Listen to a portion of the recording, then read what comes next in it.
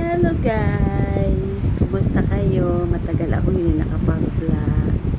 Ah, ngayon lang ako mag-video pero short video lang kasi bawal ako mapapagod kasi uh, na mild stroke ako uh, the, no, July 31 so tsaka labas na lang naman sa hospital uh, kailangan ko kasi mag-video kasi yung baka ma maano ako sa aking pagkapintay so mag-short story lang ako. So ayan lang guys. Ito, ito yung aking merienda guys. Uh, saging. Ito lang uh, ayan lang ang dapat kong kakainin kasi alam mo naman uh, mag-ingat-ingat kasi nadala na ako siguro kasi dahil sa stress ko sa daming na madaming hindi basta na-stress ako meron din uh, isang bagay na stress sa akin that's why uh, inaasahan na ganun, ganun pala yun ang kapag high ka uh, bigla na lang. Kasi nung time uh, uh, magsimba ako dapat noon eh July 31 so naka-ready na ako. Tapos uh, magbibihis na ako magpalit na ako ng magpalit ako ng damit. Tapos yun lang yun, yun yung ano na time na eh, basta magpalit na ako ng damit kasi magsisimba na kami ng anak ko tsaka pamangkin ko. Eh bigla namang hindi ako makalakad hindi makatawid hindi makalakad yung kabilang paa ko. So yun na pala yung dito yung anak ko na nalalakad ako kasi nalalayan ako. So wala na hanggang sa iyak na ako ng iyak. Tapos yun pumunta dito yung aking mga uh, mga barkada yung mga kaibigan ko sa sa aking trabaho sila teacher Tina. Hello teacher Tina. Uh, si teacher Jural ang aking ano, mga best friend ko sila teacher Nancy.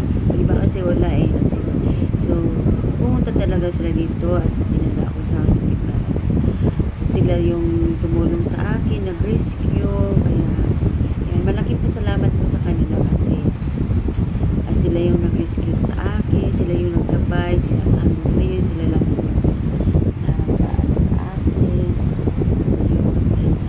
si teacher Tina lalo ma maalalahanin yung aking friend kaya so ito guys ito yung aking uh, merienda banana so kakain ako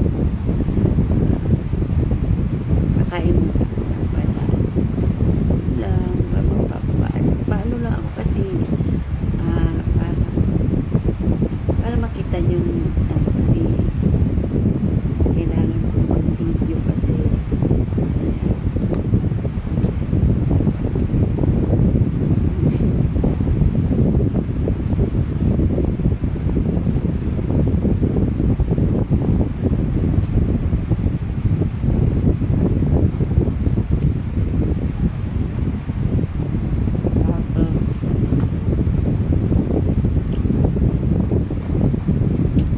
ang guys yung kinakain ko ngayon fish kontrolado nila yung kain ko siguro mga half cup lang yun na yung pagkain ko tapos sa vegetable lang yung yung yung, yung sa Bisaya ay lauoy yun lang yung uh, agahan tanghalian, hapunan yung pagkain ko. Ayan yun lagi kung, kung may isda yung matabang lahat ng pagkain ko. Eh titiis ko kasi kailangan ko gumaling. Yun lang.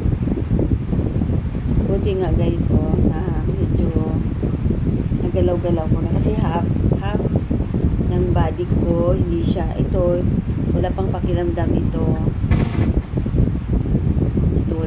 pakiramdam tapos yung ito ito ito puting ito nagagalaw na dati talagang wala yung ganyan tapos wala talaga. Pero doon doon pa sa ospital, hindi ako hirap na hirap akong kumain, kabilang kamay lang. Eh, ayaw naman, ayaw ko namang magpasubo sa anak ko, ayaw ko. Kaya talagang tinitigil, magkanda laglag na yung kanin ko. Yun, tapos, mm, ito buti na, ito nakakain na ako. Tapos, nakaka-toothbrush. Yung dati talaga, ito lang ang toothbrush ko. Tapos, hanggang sa tinuturuan ko na, ginaganyan-ganyan ko yung inaano ko sa kamay ko para matuto yung isa ma-practice. Hirap ng ano, mahirap yung may karamdaman kasi naiyak ako sa sarili ko kasi parang naawa ako sa sarili ko kasi siguro kasi syempre ako lang naman nag, nagbuhay sa amin. Ako lang ganoon yun, yun yung ano ko. Pero okay na ako. Masaya na ako. Kasi nga ang ang uh, actually anak ko ngayon ang uh, susupport sa akin. Anak kong lalaki.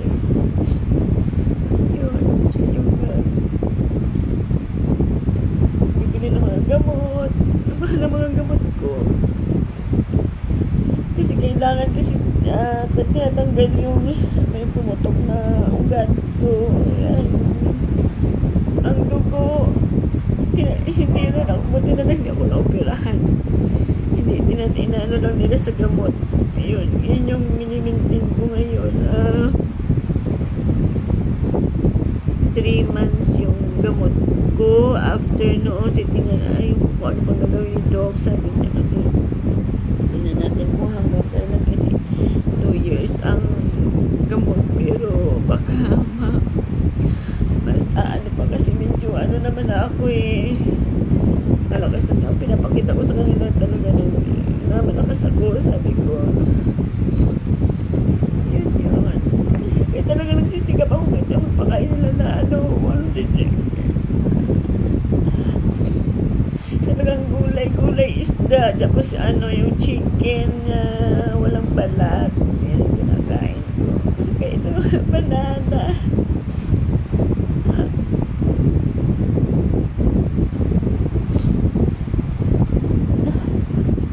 pero eh, talagang oh my god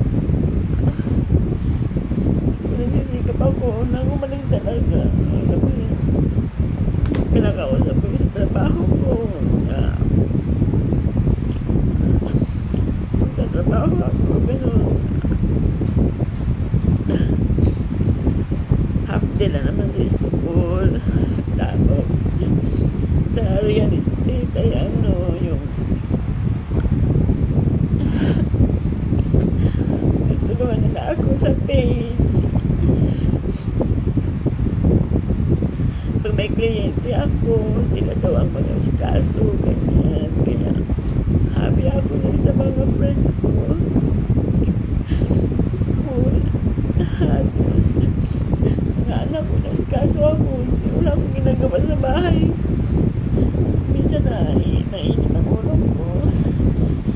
Mga hindi ba masyadong ano pero pinapractice ko siya yung kabilang kamay ko ito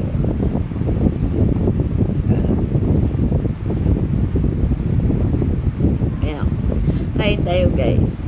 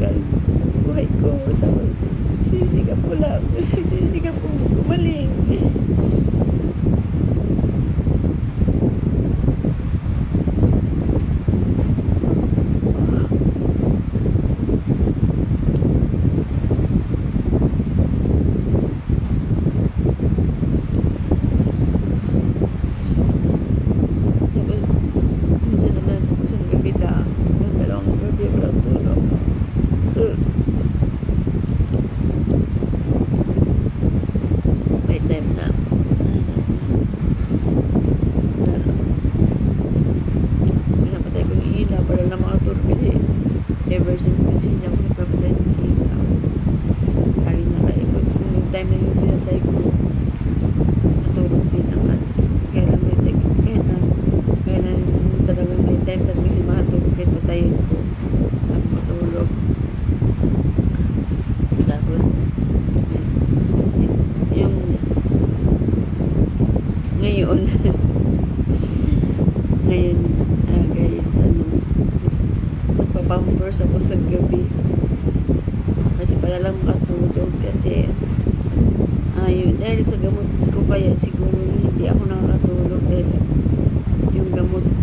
every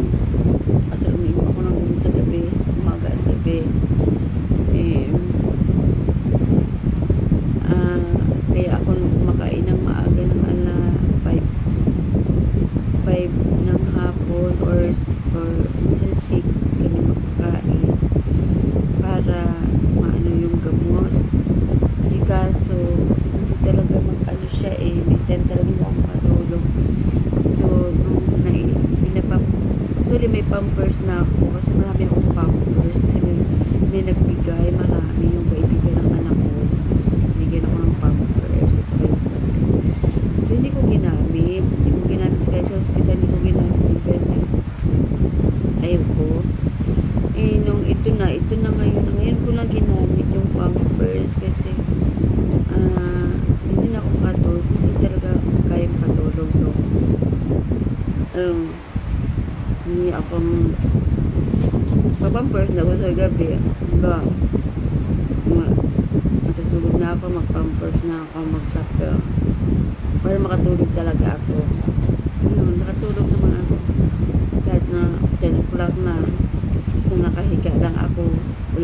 gagawin naka, nakahiga lang wala akong gagawin.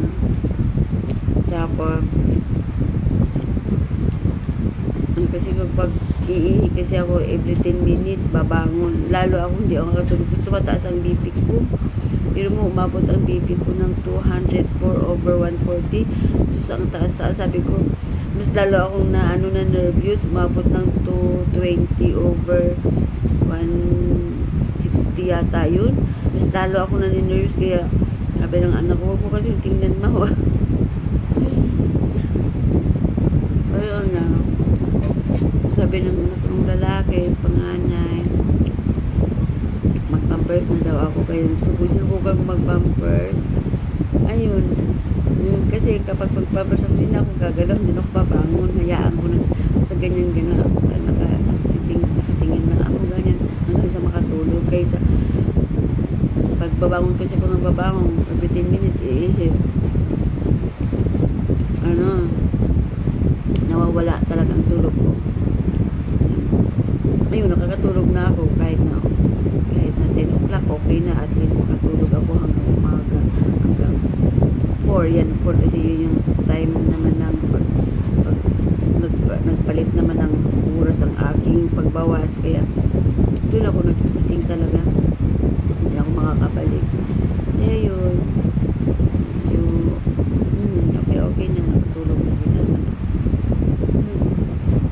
guys pinikwento ko lang ang nangyari sa akin tapos kinakain ko merienda saging hmm, yung kinakain ko ano lang isda, fish chicken na walang balat at saka gulay.